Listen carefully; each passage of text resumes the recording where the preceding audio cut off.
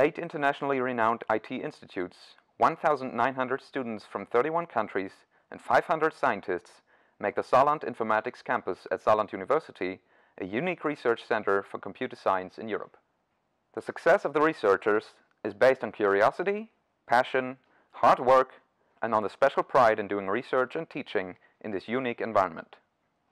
Over 75 possible PhD supervisors, along with an additional 120 postdoc researchers from all over the world, provide a broad spectrum of research topics covering almost all of computer science. You do not have to learn German before your application.